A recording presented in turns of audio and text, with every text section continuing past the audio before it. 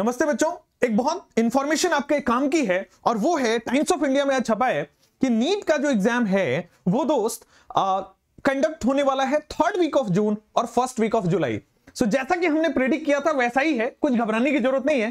Third week of June और first week of जुलाई तक आपके एग्ज़ाम को कंडक्ट कराया जा सकता है।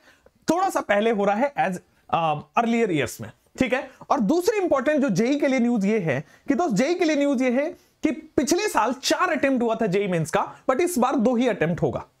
अभी भी आपके पास दोस्त, लगभग लगभग 130 डेज़ बचे हुए हैं।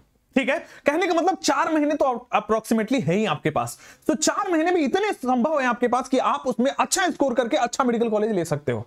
ठीक है? आपके लिए अन की तरफ़ से ऑफ़र ये है दोस्त, कि बहुत ह्यूज डिस्काउंट है, आप चाहे तो ले सकते हैं।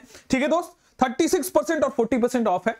दोस्त अगर आपको बहुत अच्छे से तैयारी करनी है गाइडेंस चाहिए आपको एक मेंटोर चाहिए तो दोस्त बाहुबली कोड लगा के आप ये सब काम कर सकते हैं।